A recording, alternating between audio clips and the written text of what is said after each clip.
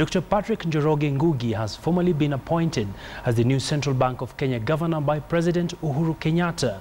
Parliament last week approved his nomination by the president after a short vetting process. Dr. Ngugi takes over from Professor Njuguna Ndung'u, whose term expired at the end of March. Also appointed to the bank is Sheila M'Mbijjewe, who, who comes in as the second deputy governor, joining Dr. Haron Sirima, who is also retained as deputy governor.